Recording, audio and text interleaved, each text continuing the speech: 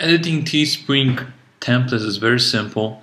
Uh, once you unpack the zip file, you will see all these folders, and inside you will see six different designs right here. And also, these are in the two different uh, colors. So first is black, it's a black text, and second is white.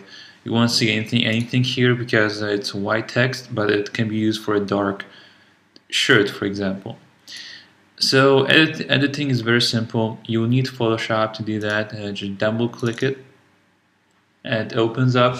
It's quite a big file. Right now it's 16.7% of the real size.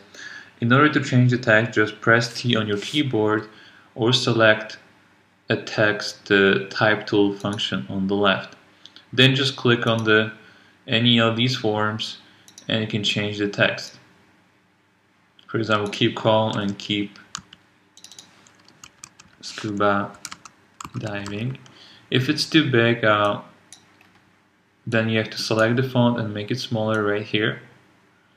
Um, also, you'll see that um, sometimes the, the lines may be too much, so you will need to click this, this icon, and you will see here this pops up, and uh, you can change the the uh, space between lines so it looks better. Um, so it's important to do that and once you do that just click OK right here and it's done. Then you can just go to the file save for web. And choose PNG I choose PNG two colors. If you have more colors you can choose eight.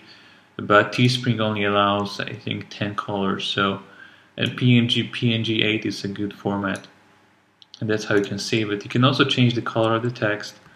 Uh, for example make it red if you want you can change the font right here. You can also change the if you want to bold it or not. It's up to you. You can also go and select the move tool or press V on your keyboard and just move it however you want. You can also move it here move this and just do whatever you want. So that's basically how you can change uh, the text on these templates. Thank you for watching